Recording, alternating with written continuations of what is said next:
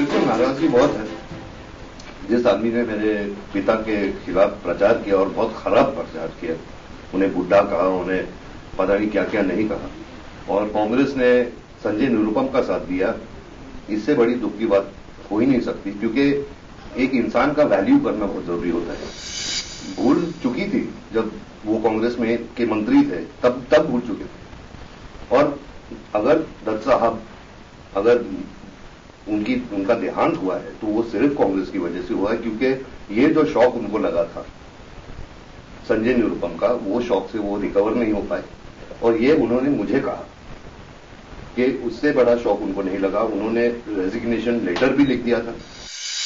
अगर मैं प्रिया के जगह पे होता तो मैं रिजाइन कर देता कांग्रेस से। क्योंकि प्रिया को भी पता है कि किस किस्म का दुख मेरे पिता को पहुँचा संजय निरुपम की वजह से।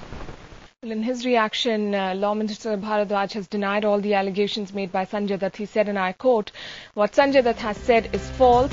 I have never intimidated anyone. Sanjay Dutt is like my brother, and Sanjay and Priya are like my children. Sanjay Dutt is being used by somebody.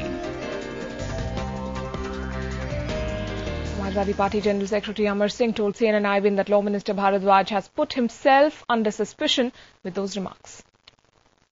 My simple thing is that I have not named him and uh, I have not said that CD contains him. The union minister is said. And that CD, I am not going to ever publish it or broadcast it openly and to media. Why is he clarifying his position unnecessarily when I have not named him? And why is Congress unnecessarily uh, defensive? Is there anything bad? Uh, is, why, why, why are they smelling rat unnecessarily without any accusation? And but he has confessed that he met Sanjay Dutt. That is that itself is a serious matter. That on the day of judgment, Law Minister of India is meeting him. How do I know that he has not discussed the verdict? How do I know? There is a needle of suspicion